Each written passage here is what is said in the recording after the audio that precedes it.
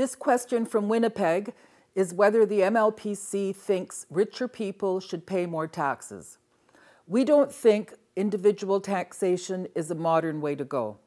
Public revenue should be collected at the point of production because the source of all wealth in the first place is the workers and Mother Nature. It isn't fair that those who produce the wealth and who are constantly fighting to keep up with the rising costs of living, facing wage cuts and benefit cuts, should also have money taken away from their pay. Not only their income tax, but tax when they buy goods, tax when they travel, gas, it goes on and on. People should keep everything that they earn. Government revenue, we think, should be raised through public enterprises, such as public utilities. But public projects are being destroyed and privatized. We think this should stop. We think we should have more public enterprises.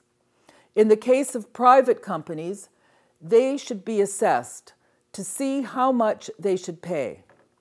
Like a company that has a lot of university graduates, or even just a few, it should pay its share of what it costs to educate them. Students shouldn't be the ones who pay tuition because education is a right.